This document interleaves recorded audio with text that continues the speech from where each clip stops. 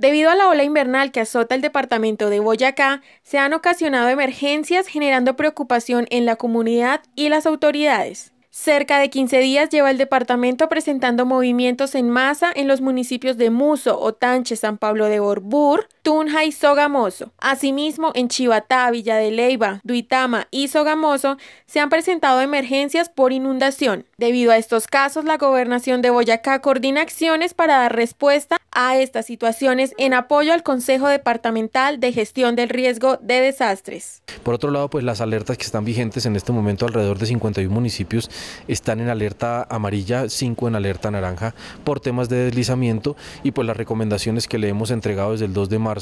cuando la Unidad Nacional de Gestión de Riesgo emitió la circular 017, es para los alcaldes hacer mantenimiento y limpieza de los ríos y de los sistemas de drenaje para evitar estas acumulaciones de material y que se eviten estas inundaciones. A la comunidad estar muy pendiente de los puntos críticos, estar alerta sobre las informaciones que trasladan los cuerpos de socorro, eh, los consejos municipales de gestión de riesgo y desde luego la gobernación de Boyacá está a través del Consejo Departamental de Gestión de Riesgo. Todo esto es importante en la medida en que si nos vamos a, digamos, si podemos adelantar medidas de prevención, pues vamos a tener que eh, recurrir menos a, medidas de atención de desastres.